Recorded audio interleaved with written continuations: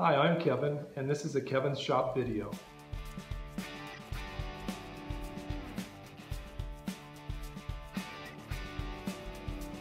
This is my drill press, and uh, I've made a couple upgrades on it that I've shown in another video of a fast uh, speed change lever and a quick uh, on-off knob. But I'm thinking about using this uh, to do some lightweight milling. So I came up with a, an adapter for this uh, mechanism so that I could have a way to micro feed this head into a uh, workpiece. These are the parts that I made uh, for this uh, milling attachment for the drill press. Uh, this is a bracket that will mount on the front of the uh, drill press. And what I did is I uh, lined it with some rubber, actually a piece of inner tube, just to protect the front of the drill press. And this will clamp on with three um, quarter 28 Allen screws. This is a little uh, arm that I will use. I will replace one of my handles on the uh, drill press that feeds the head and uh, install this. This is a worm shaft or just a threaded shaft with a hand wheel on it and uh, we'll use that to move this arm back and forth. And this is just a trunnion. Uh, it's just a nut welded onto some discs with a uh, stud coming out of it and these pieces make up my little milling feed attachment. So go ahead and install this bracket.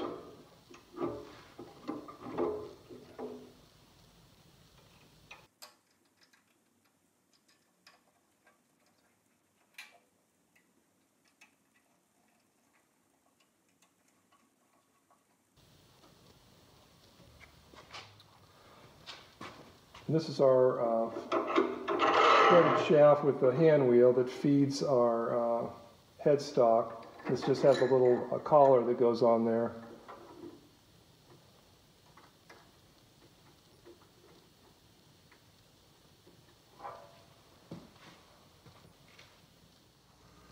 Okay, I put some paper up here so you can see this better because we have black on black, but uh, uh, what I've done is I've threaded this trunnion onto my shaft.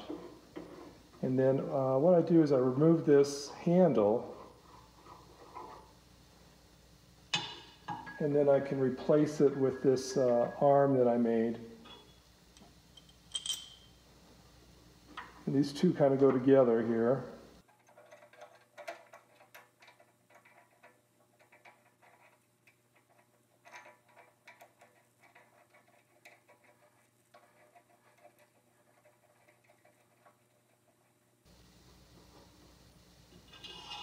Then I have a uh, just a fender washer, a spring to put some tension on that, and a nut.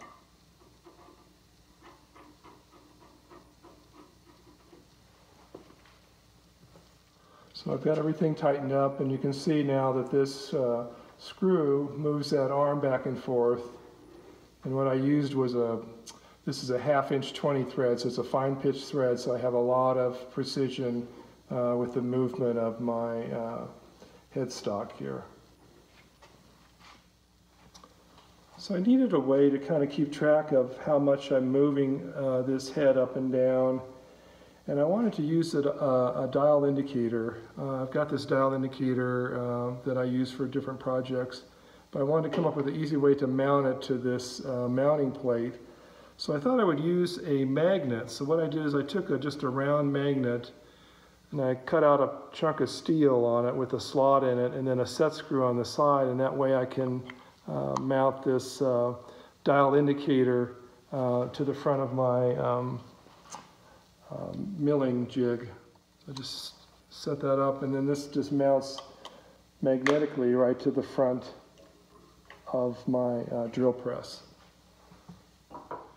So I needed a way to actuate this um, dial indicator. So I made this little bracket assembly.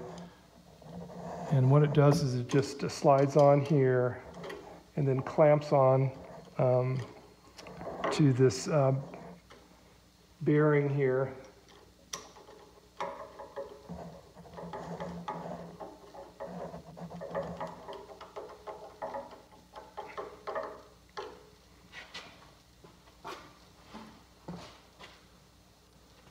Now I have a precise way to keep track of the uh, movement of my milling head. I wanted to show you this milling attachment in use. So what I've done is I've installed a quarter inch end mill here into the chuck of the drill press. And I've got my cross slide vise set up. Uh, this vise I purchased and had to kind of tune up and make it work a little better. And I made a video about that. Anyway, I'm got it set up. Uh, this is uh, set for the level of the um, piece of aluminum here that I'm going to mill. And so I'm going to take a 40,000 swath out of this uh, piece of aluminum to show you this in, uh, in use. So anyway, I'll adjust this down. I'm going to run my uh, end mill down about 40 thousandths here.